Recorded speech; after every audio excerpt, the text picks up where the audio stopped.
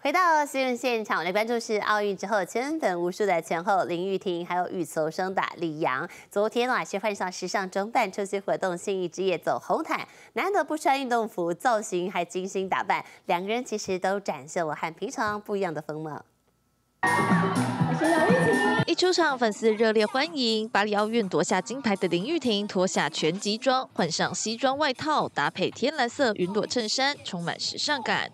二十三号晚上，林玉婷担任新一之夜红毯嘉宾，展现她的另一面。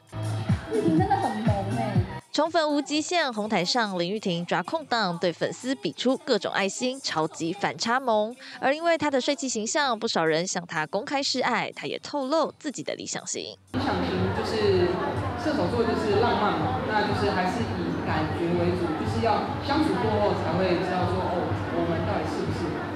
讲起理想型，还有点害羞。而这次红毯嘉宾还有羽球双打金牌的李阳，刚从日本度假回来的他，也难得做出时尚打扮。也太帅了吧，我们大哥！穿上宽版上衣和宽裤，搭配银色项链，李阳开心挥手。不过搭档王麒麟最近和新搭邱相杰到日本比赛，李阳也说还是有互相关心。关注他的比赛过程，然后他我们两个自己也有私讯，然后去。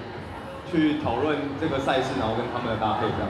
主要还是希望说他跟邱湘杰的搭配可以打得很好，那让更多人看到我们羽毛球的魅力。这次林玉婷和李阳同场出席活动，两人表示私下交情本来就不错，虽然也可以称为林洋配，但更喜欢洋芋片。